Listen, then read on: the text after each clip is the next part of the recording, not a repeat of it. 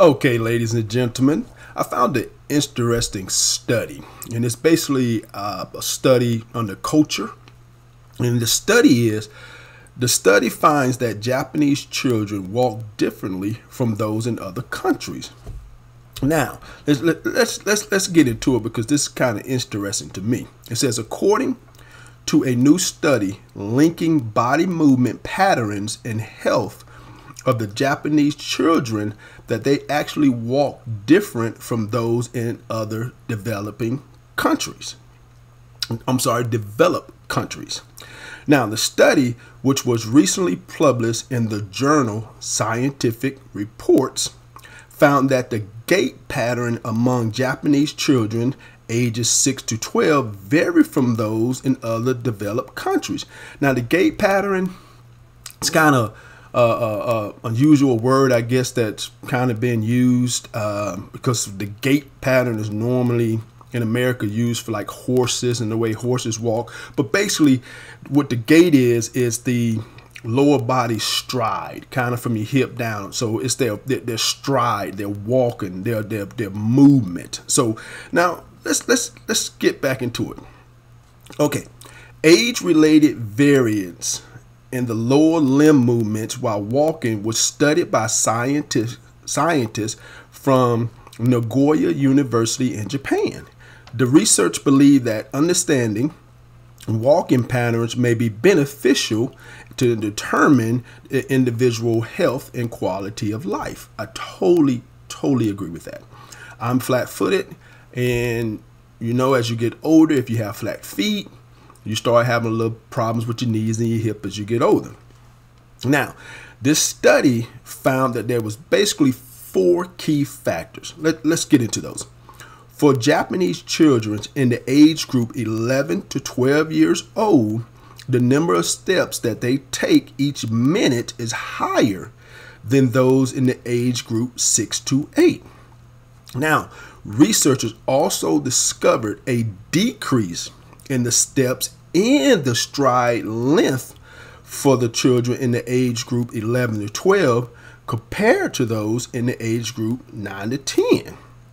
So it seems to me from this, from what this study's found, is that Japanese children in the age group 11 to 12 is taking shorter, choppier steps than those that are younger. Um, instead of taking those longer strides, they're taking shorter, choppier steps. Now, the children in the age group 11 to 12 also displayed a less range of motion in their knee during their gait cycle, their natural stride cycle. As the children got older, they seemed to point their toe more in the beginning of their walk. I guess they kind of, you ever seen somebody walk and they reach out more with their front toes instead of the whole foot as, as one unit. And there was a co-author to this study a Dr. Tadashi from the Department in Integrated Health Science at Nagoya University.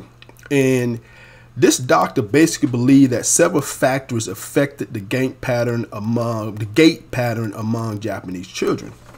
And this is what the doctor had to say. We believe that different the difference in lifestyles, the build of the children, and the cultural fact of all all affect Japanese children gait. This is not likely to affect the health of the Japanese children, but it does indicate characteristics different from those children in other countries. These results provide an important tool for assessing normal gait pattern and determine the effectiveness of orthopedic treatment and rehabilitation for their gait disorder. And once again, the example I want to use here is when somebody's flat footed, or I guess what we call in America someone's bow legged. You know, if you can catch that, what the study is basically saying is that if you can catch that at an early age, because they're walking so different from other children's in developed country, it will help them have a better, healthier, longer life on the lower, their lower body, their lower extremities.